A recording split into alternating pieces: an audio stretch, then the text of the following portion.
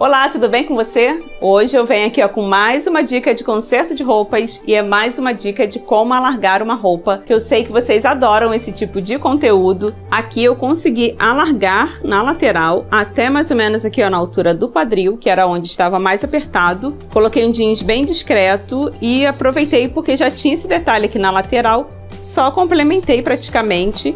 E agora eu tenho aqui ó, uma calça bem confortável e eu fiz assim meio que uma cirurgia aqui porque ela tinha um detalhe aqui em cima que eu não gostava. Aí eu tirei para colocar aqui na lateral, você vai ver direitinho. Bom, caso você esteja chegando por aqui agora e ainda não me conhece, meu nome é Viviane Alves, daqui do canal Minha Moda Digital. Esse tutorial aqui é para quem já tem um pouquinho de experiência, tá? Com conserto de roupas, é para quem já fez alguma coisa. Então, se você for iniciante, eu já te recomendo o meu mini curso gratuito. São cinco aulas básicas para você começar do zero. Só você clicar no primeiro link que está aqui embaixo na descrição do vídeo para fazer o seu cadastro. Mas não sai do vídeo não, fica até o final para você ver como que é feito esse tipo de conserto de roupas que é muito procurado nos ateliês, que é como alargar. Nos próximos vídeos eu vou te ensinar também como apertar uma roupa, tá? Então fica aqui no canal, já se inscreve aqui e deixa seu like. Vamos logo para o passo a passo.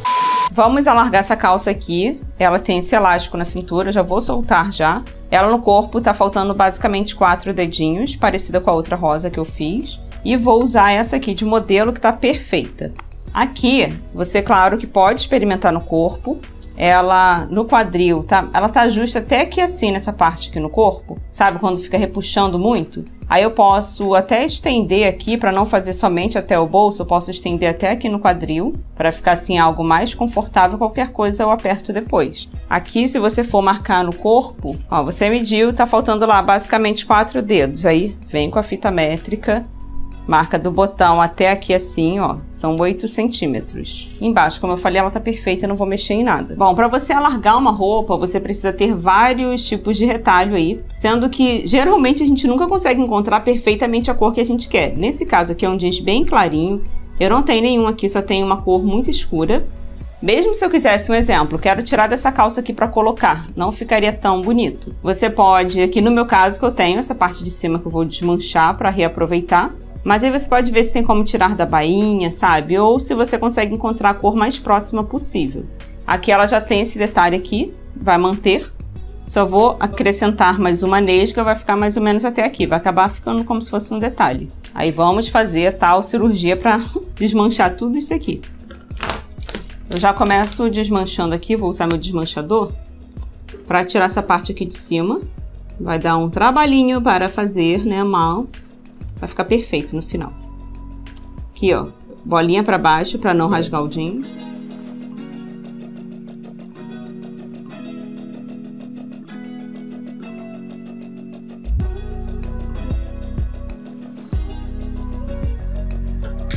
Ó, já desmanchei, tirei aqui o tecido que eu precisava, tirei o elástico também. Eu não preciso focar muito aqui porque vai ser meio difícil você encontrar exatamente esse mesmo modelo para largar. Geralmente a gente alarga mais esse tipo de modelo aqui. Inclusive, se isso acontecer com você, me conta aqui nos comentários que eu quero saber. Aí aqui eu vou precisar passar para dar uma esticada, tá vendo aqui? Mesmo tirando o elástico, meu ferro já tá ligado. Mesmo tirando o elástico, eu vi que, ó, tá precisando ainda largar. Aí aqui eu vou fazer uma forma bem prática, que é cortando aqui direto. Não vou desmanchar nada do cós aqui para fazer embutido por trás. Só preciso passar aqui.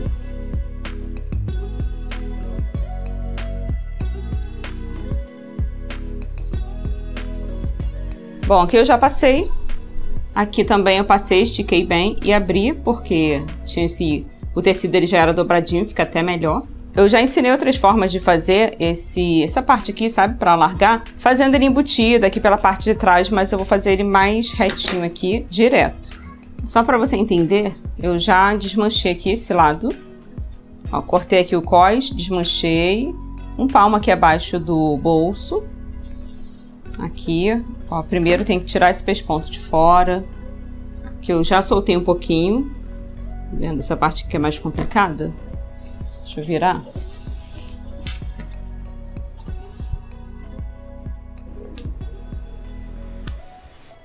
Essa parte aqui é a do pesponto. Cuidado para não rasgar o jeans.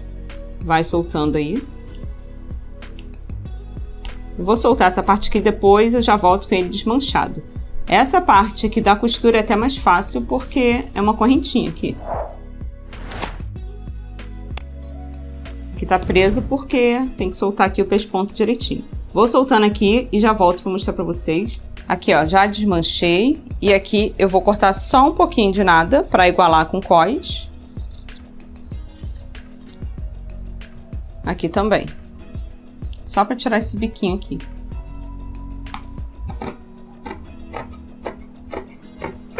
E aqui lembra que são dois dedos de cada lado? Só que eu preciso colocar sempre a mais, porque aqui eu cortei o cós, aí eu já perdi um centímetro aqui. Perdi um pedacinho. Então, coloco sempre um pouco a mais, experimento e vejo se precisa ajustar um pouquinho mais.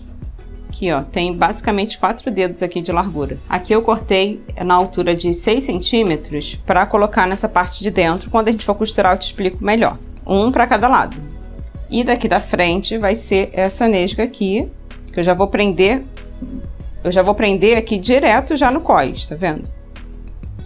Aqui eu só preciso afunilar ali na ponta. Aqui mantenho reto. Só que para baixo que eu venho afunilando bem pouquinho.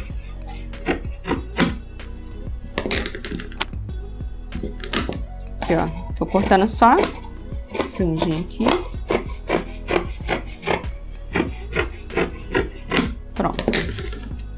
Pronto, ficou assim desse jeito. Bom, já estava indo para a máquina costurar, mas olha só o que eu encontrei, gente. Isso aqui foi o que eu tirei daqui de cima. Independente, assim, se eu iria usar aqui do lado ou não, eu tinha que tirar porque eu não estava gostando. Olha só, encontrei um jeans bem clarinho aqui, uma perna de calça que eu guardei. Eu acho que vai ficar bem mais bonito porque esse aqui tem esses detalhes diferentes que eu acho que não ia ficar muito legal. É claro que cada peça é uma peça e vai depender do que você tem aí para alargar. Então, só para você entender melhor, troquei e vou colocar esse aqui. Vamos começar aqui a parte da costura. Estou usando a minha máquina doméstica Singer Facilita Pro. Estou usando aqui uma agulha 16 ou 18 e tem que ser uma agulha própria para você costurar jeans.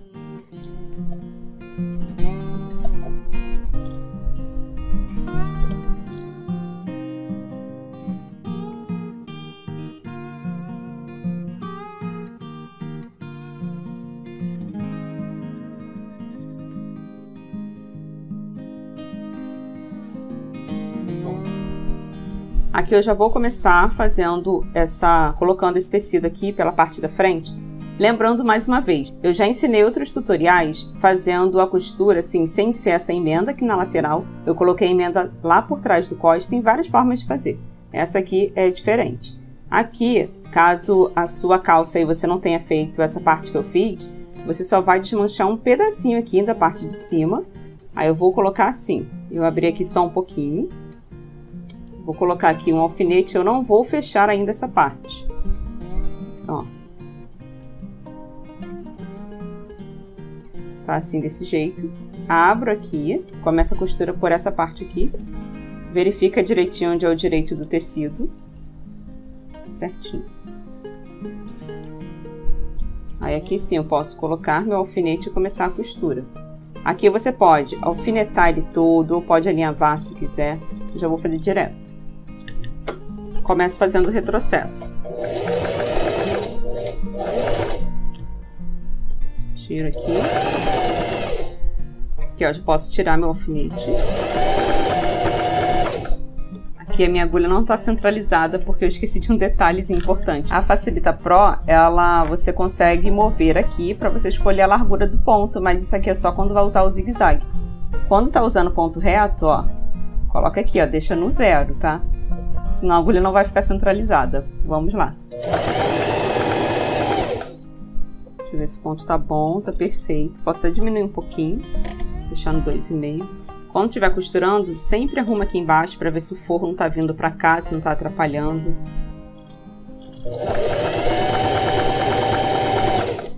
Aqui tem um detalhe muito importante. Tá vendo esse rebite aqui? Eu não vou tirar, mas para isso eu preciso trocar meu calcador e colocar aquele calcador de zíper para ele bater bem aqui na pontinha. Eu vou passar uma costura aqui primeiro, deixando aqui tortinho mesmo para fora para você ver, tá? Ó, cuidado aqui, ó, para não bater. Vou continuar até o final, daqui a pouco eu troco o meu calcador.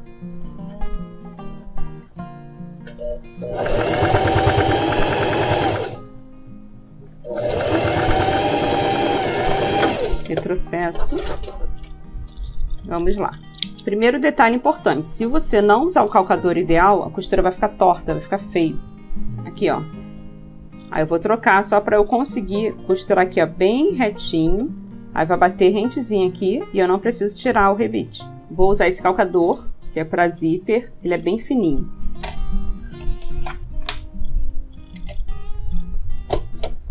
Prontinho. Eu vou posicionar agora para lateral, jogando aqui para a esquerda. Pronto. Aqui, ó, para você entender o que que acontece. Ele está aqui no meio. Para usar esse calcador, eu preciso posicionar para cá. Aí vai ficar certinho.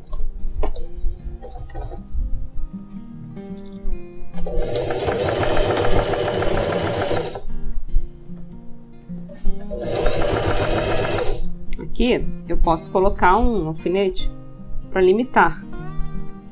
Tá bem aqui em cima, eu posso passar por aqui, ó.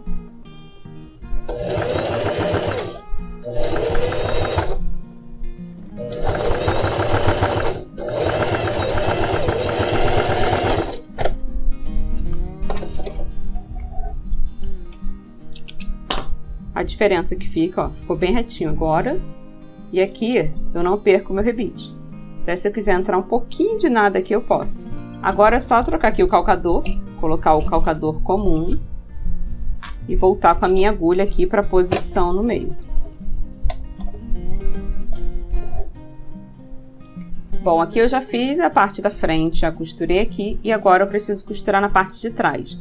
Para facilitar aqui, eu vou prender Lembra aqui, essa parte da frente? Inclusive, tá até rasgado aqui, ó. Vou aproveitar pra fazer uma costura aqui à mão. Aí, dessa forma, eu não preciso me preocupar se o alfinete sair do lugar. Aí, só depois, no final, que eu vou passar um pesponto aqui nessa parte de cima.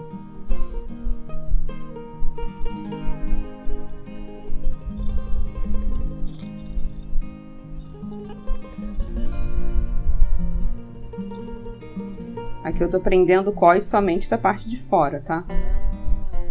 Aqui, ó, atrás eu não mexo. Só isso. Aí, pra costurar, eu vou desvirar pra gente começar fazendo essa costura aqui de cima pra baixo.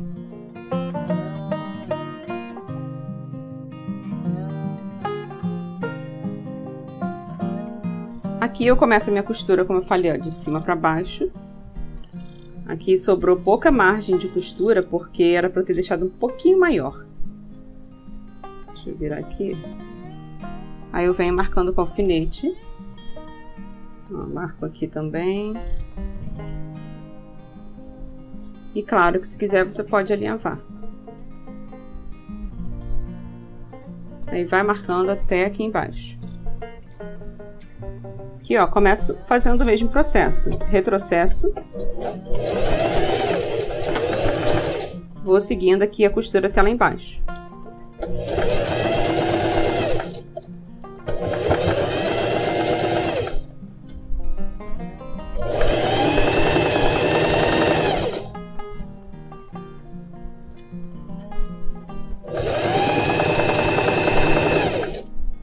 Estou seguindo aqui praticamente a margem anterior.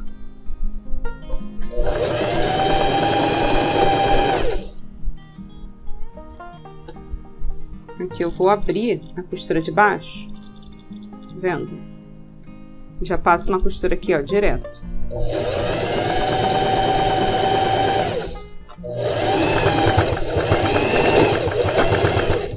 Retrocesso, pronto.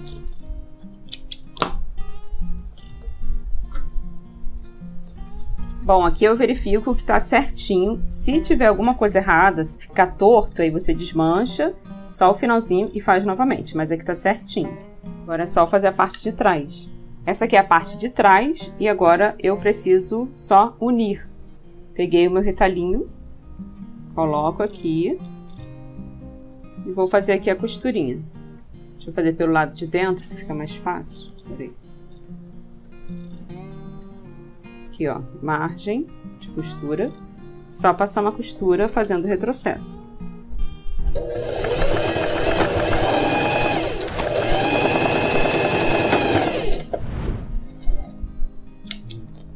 Ó, costurei aqui. E agora essa partezinha. Posso até soltar um pouquinho mais aqui para facilitar.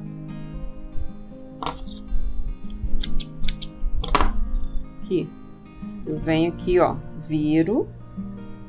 Ó, preste atenção. Meu Deus, que quebra-cabeça, Senhor amado. Ó. Não sei se eu preciso explicar novamente. O que você acha? Não, você é Tá bom? Aqui, ó, pela parte de dentro, já jogo na máquina. Ficou com dúvida? Faz a costura à mão, vê se ficou certinho, depois você joga na máquina para costurar.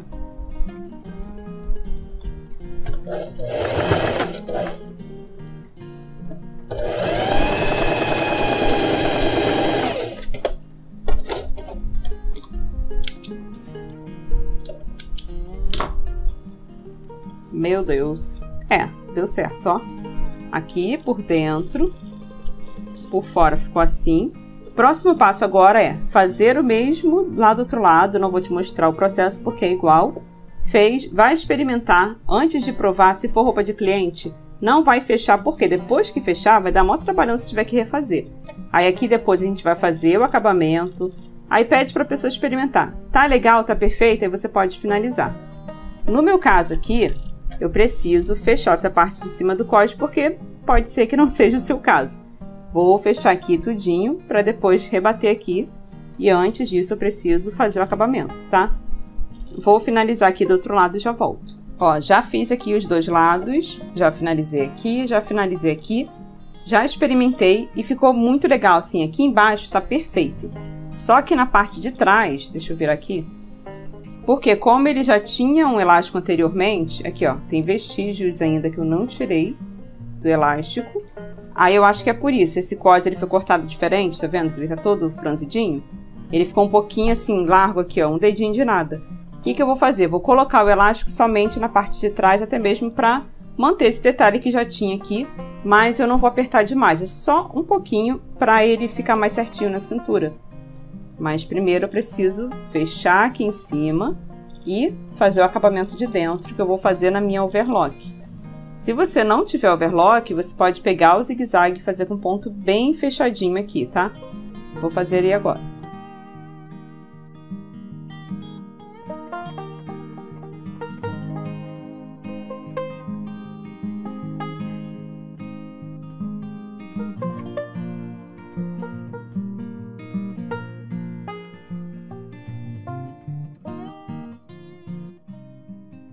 Prontinho, acabamento feito dos dois lados.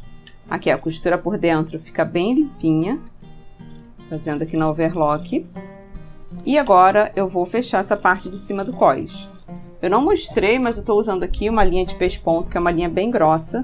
Se você não tiver, pega duas linhas que sejam parecidas e passa normalmente aqui na máquina, que aí ela vai ficar uma linha grossa. Aqui é só eu fechar mesmo é, vou passar a costura por cima dessa costura anterior. Faço retrocesso aqui. Essa máquina, muitas pessoas perguntam, ela aguenta costuradinhos tranquilamente aqui, como você pode ver.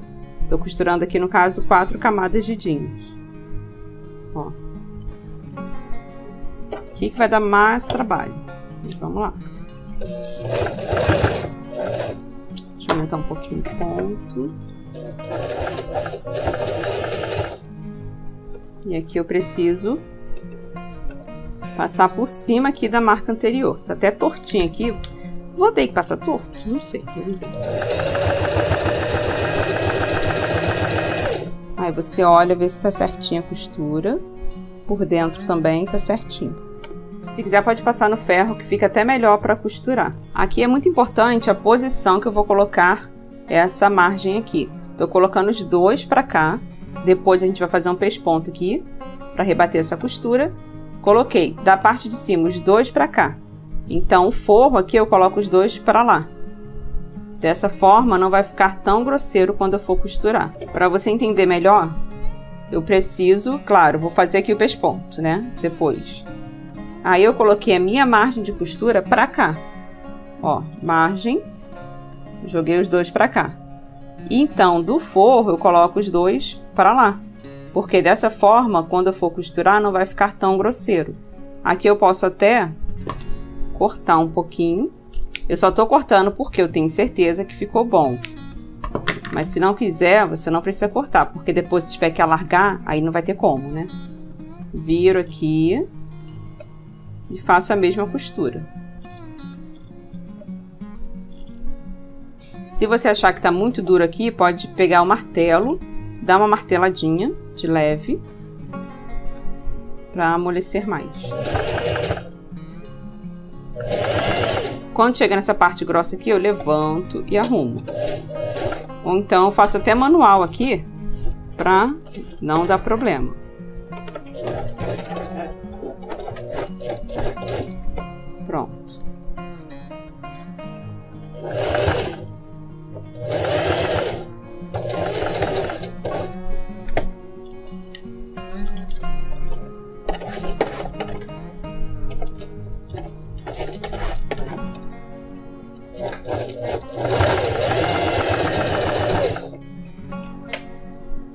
Aí continuo.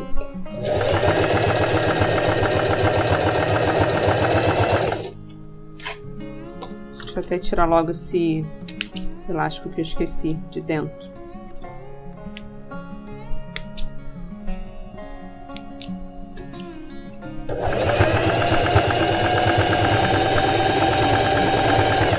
Aqui eu fiz uma costurinha à mão, é melhor.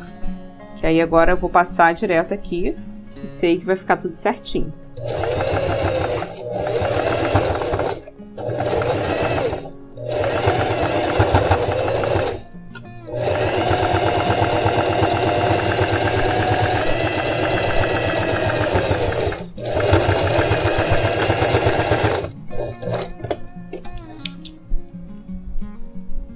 Vou colocar o elástico aqui por dentro Claro que isso aqui é opcional, porque a gente está alargando uma roupa, não tinha necessidade de colocar um elástico novamente. Mas, como ele já tinha esse detalhe aqui, se eu não colocar, vai dar defeito. Vai ficar franzido pós. Deixei ele bem largão mesmo, porque eu não quero que aperte demais. Deixa eu arrumar aqui. Vou botar o alfinete aqui, ó, na parte de fora porque depois eu vou pespontar. Aí arruma aqui direitinho.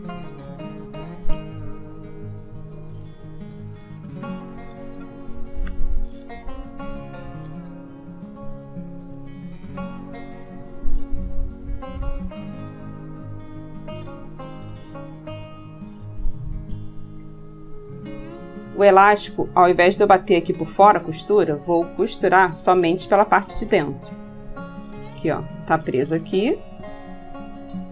Só vou bater aqui um, uma costurinha.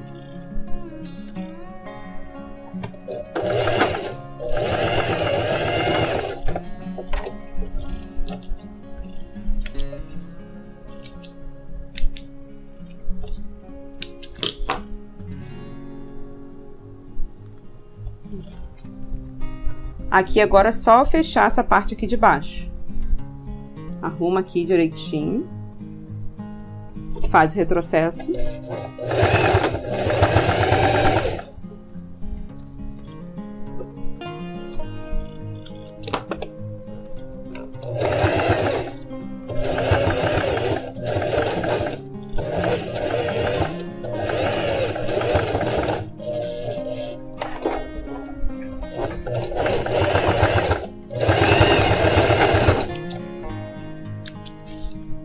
E agora eu vou bater o peixe-ponta aqui de fora. Só esse aqui e aqui. Posso começar por aqui.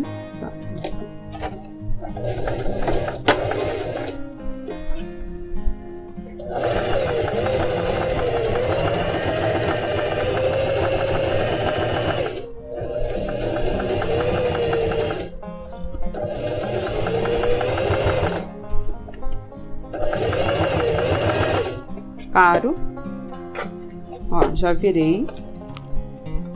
E aqui a margem de costura, lembrando que ela tá para cá.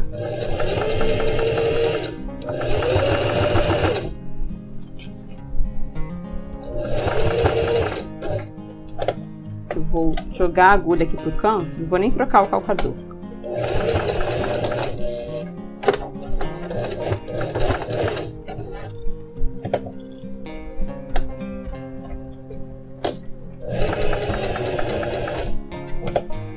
Voltar.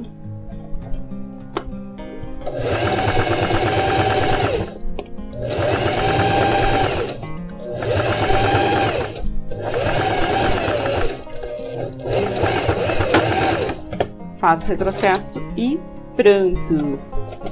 Esse deu trabalho para fazer. Vamos lá. Olha só que bonito que ficou, gente. Fica muito lindo aqui, ó, quando faz o pesponto. Tá bem discreto.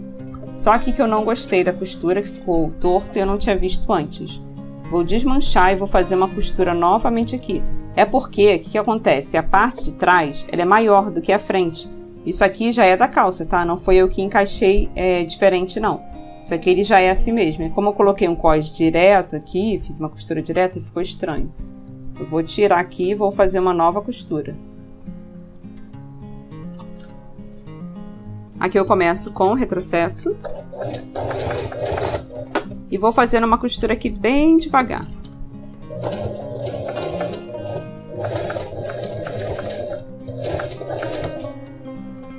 Aqui eu vou tentar manter o, o máximo que eu puder reto. Quando chegar aqui eu subo, dou um pulinho para cá para continuar.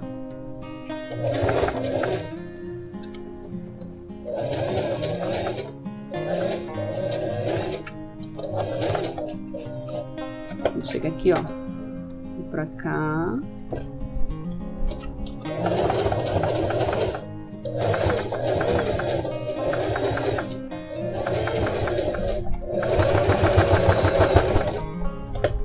Prontinho. Só retirar o alinhavo que eu fiz. E aqui depois eu posso até colocar um passador, que essa calça aqui ela não tem passador. Quando a gente coloca o cinto por cima, não vai nem aparecer aqui essa emenda prontinho. Aí eu vou fazer o mesmo processo do outro lado e já vou vestir para você ver como que ficou no corpo. Pronto, tá certinho agora prontinho e esse é o resultado final. Vocês viram, gente, que deu uma trabalheira para fazer. Imagina assim, para ensinar para vocês. Então, até aqui eu já te peço logo o seu like, tá? Isso é muito importante na divulgação aqui do vídeo. E assim, é um, um tipo de serviço que dá trabalho de fazer, mas é um serviço que é procurado e você precisa estar preparado ou preparada, porque quando seus clientes chegarem, você precisa ter opções para fazer esse tipo de conserto. Lembrando que eu tenho uma playlist aqui no canal, vou deixar link também aqui na descrição do vídeo com outras formas de fazer esse tipo de serviço, porque tem como fazer com uma faixa direto, dá para fazer de uma forma mais discreta, colocando a emenda por trás do cós, aí tem várias formas de fazer, você precisa ir aprendendo ali aos poucos e é só você se inscrever aqui nesse canal para você continuar recebendo esse tipo de dica. Olha aqui embaixo do vídeo, se o botão estiver vermelho escrito inscrever-se é porque você ainda não está inscrito. É só você clicar para se inscrever e ativar o sininho para você não perder nenhum vídeo. E me conta aqui embaixo nos comentários se você gostou e se você vai fazer, tá bom? Eu espero você no próximo vídeo. Tchau, tchau!